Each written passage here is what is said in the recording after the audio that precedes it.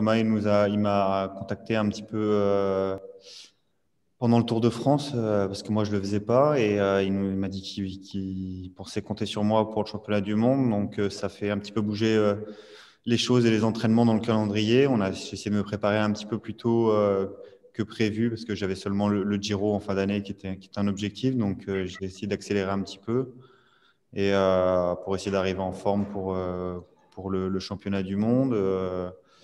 Et voilà, du coup, on a pu faire une, bonne course d'équipe. Ça s'est plutôt très bien passé pour nous. on a eu une, stratégie assez payante avec des coureurs sur qui on pouvait compter dans le final, comme Guillaume Martin ou Rudy Mollard, par exemple. Et voilà, tout tout s'est bien enchaîné pour que, pour que Julien il aille chercher le titre. C'était un, un, très bon moment euh, pour, euh, pour l'équipe de France, euh, pour l'équipe de France, je pense.